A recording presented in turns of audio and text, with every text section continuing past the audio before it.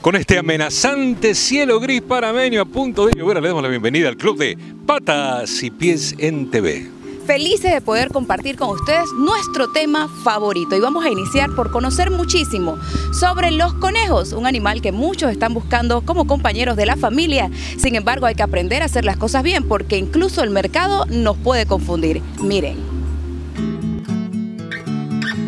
Los conejos pertenecen a un grupo de animales conocido como los lagomorfos. Dentro de este grupo podemos encontrar otras especies como la liebre y la pica. En nuestro país contamos con el conejo muleto que se encuentra de manera silvestre, el cual es muy difícil de adaptar al cautiverio. Y también tenemos a los conejos domésticos como este conejo americano que tenemos presente. Conejos en cautiverio se pueden mantener de diversas maneras. En algunas locaciones se pueden mantener en el exterior de la casa en una jaula adecuada hay que tener mucho cuidado en nuestro país al hacer esto, ya que tenemos muchos riesgos como es la presencia de mosquitos. Los mosquitos transmiten un virus al conejo, el cual es letal para los mismos, y también en zonas de la ciudad encontramos presencia de depredadores como gatos o zarigüeyas. Al tenerlos dentro de la casa podemos utilizar jaulas adecuadas para ellos.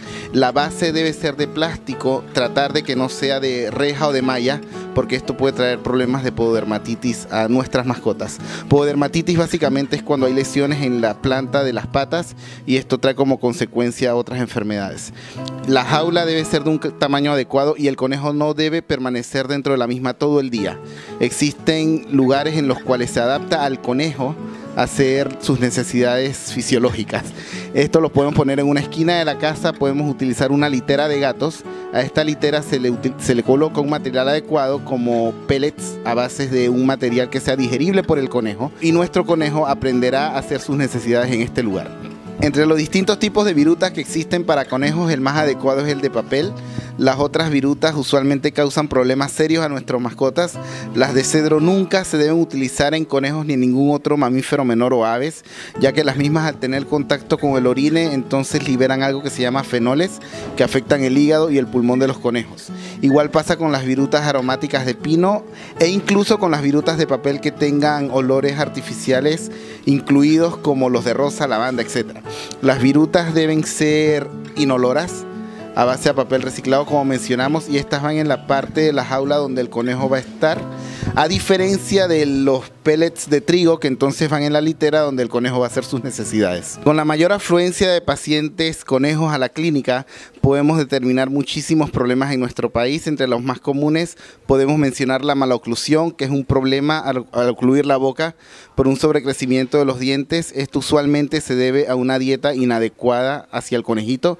También tenemos problemas respiratorios porque muchas personas no saben que el conejo no se debe bañar y lo bañan con la frecuencia como si fuera un perro, entonces esto acarrea problemas para nuestras mascotas. También existen muchísimos problemas de ácaros en las orejas y en las patas. Con esto hay que tener mucho cuidado, ya que un tipo de estos ácaros es zoonótico, o sea que se le puede transmitir al propietario. Por eso es importante cuando veamos lesiones en nuestro conejo llevarlo a la clínica. Como manera rutinaria se deben llevar aproximadamente cada tres meses para hacerle sus exámenes de sangre. Eh, dentro del examen físico también se evalúa lo que es la dentadura, la piel y el sistema respiratorio del paciente. Son muy frecuentes las diarreas por parásitos internos en los conejos bebés o pequeños al destete. Por eso es importante que apenas adquieran un conejo lo lleven al veterinario y se realice un examen coprológico para prevenir estos problemas ya que son tan serios que incluso pueden llevar a la muerte del conejito. Los conejitos sí se les cortan las uñas con regularidad ya que si se sujetan de una manera inadecuada e incluso cuando se sujetan de manera adecuada pueden lastimar a los propietarios. También se le limpian lo que son las áreas alrededor de los ojos. Lo principal yo pienso que es un buen mantenimiento de la dieta para que no haya problemas de los dientes. La nutrición del conejo es bastante compleja y va a depender de la edad que tenga nuestro conejito. Si es un conejo joven, hasta los 7 meses es un tipo de alimentación, después de adulto otra y cuando es geriatra otra. Eh, hay distintos tipos de henos y distintos tipos de alimento peletizado. El heno debe ser la base principal de la dieta, aproximadamente un 70-75%. El heno es, para los que no saben, es la hierba que se vende comercialmente adecuada para este tipo de animales.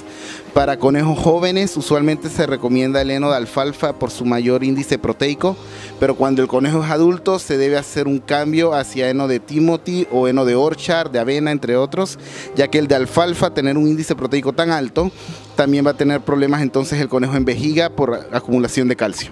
Con respecto a los pellets, un pellet de buena calidad que no tenga mucho maíz, por ejemplo, soya, los porcentajes van a variar de, acuerdo a la edad del conejo. Hay pellets para conejos jóvenes, pellets para conejo adulto y pellets para conejo geriatra. Aparte de esto, la suplementación con vegetales, entre los más frecuentemente utilizados y que son buenos para el conejo, está el diente de león, la lechuga romana, lechuga roja, lechuga escarola. La zanahoria, al contrario de lo que se cree popularmente, no debe ser administrada con mucha frecuencia al conejo, máximo una o dos veces por semana en trozos pequeños. Si quieren utilizar una parte de la zanahoria, entonces utilizar la parte de las hojas. Mixomatosis es una enfermedad viral transmitida al conejo por el agente del mosquito. También se puede transmitir de manera directa entre ellos o por algún otro tipo de parásito externo. En Panamá lastimosamente no permiten la introducción de las vacunas porque según algunas entidades no existe la enfermedad en Panamá, pero ya estamos trabajando para que se desmienta este mito y entonces poder introducir las vacunas al país.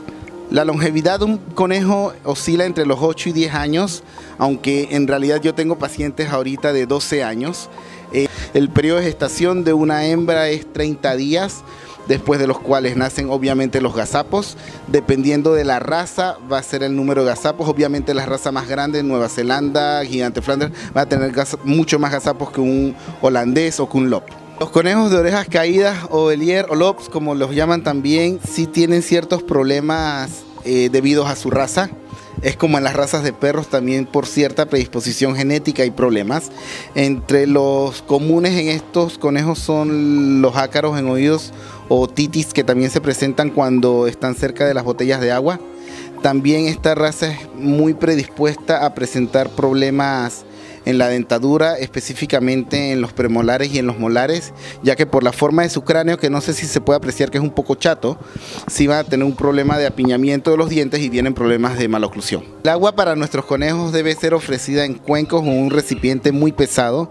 Las botellas no son adecuadas para ellos, ya que para alcanzar la botella usualmente adquieren una posición en donde a largo plazo, o sea, de manera crónica, va a haber problemas con las vértebras cervicales que son las de acá al momento de llegar a la edad adulta o también podemos tener problemas de insuficiencia renal por la absorción inadecuada de agua por el mecanismo de la botella.